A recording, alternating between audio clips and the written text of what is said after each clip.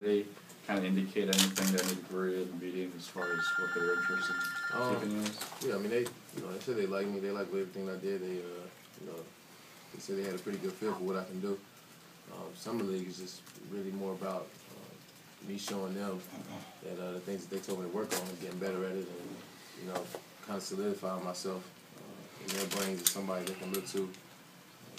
Uh, I know, um, that's no pressure for me, I've been going through stuff like this a long time, so, yeah, I'm ready for it, it's another opportunity.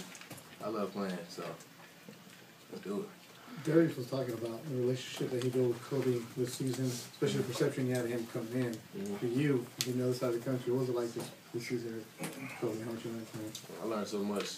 Um, you know, being around everybody, not just Kobe, um, but you know, just watching him and just hearing some of the things he do, watching his preparation, uh, watch how he deals with people, watch how he deals with certain situations in the game. It's just uh, seems like I've had like years, years worth of knowledge in this short year.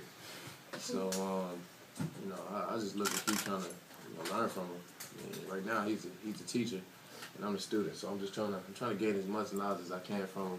Whenever I'm, whenever I ask him something, he's quick to tell me uh, what he does in certain situations. And, uh, you know, he's always trying to help. He's always trying to help the guys, especially the younger guys that, that haven't been here before. So I learned a lot, man, uh, from Ron, Drew, Matt, everybody. And Ron, I've never seen anybody keep his body in such great shape. Um, you know, the stuff, the stuff he eats. I feel like a little kid just watching him eat because I was like, ugh. Yeah. he, he like he eat all types of beans and all types of things. So I mean, I just learned. I learned a lot uh, about everything, not just basketball, but you know, off the court. Um, just being around these guys, it just helped me out a lot. Is there nobody in the locker room who you'd always count on to make you laugh? Uh, Besides us, of course. uh, I mean, everybody's you know You guys these are all guys. that serious in there? Yeah, these guys are a little bit, you know, older, so it's like, Yep.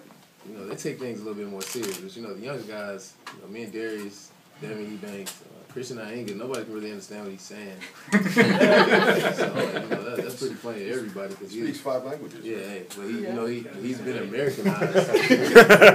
so he'll say some things like, you know, he has the slang down, but he has his own little twist on it, so it's, you know, he keeps everybody laughing.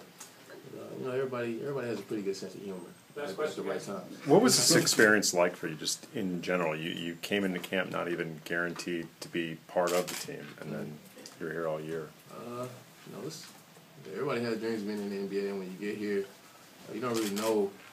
You don't really know that if you get drafted in the second round, you might not make the team. You don't know things like that coming into it. So when you, know when, when you're going through it, you just gotta gotta take everything one step at a time.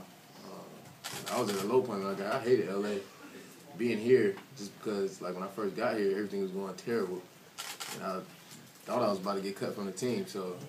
Um, you know, to make the team, to get to play, to uh, be around all these guys and, and learn so much.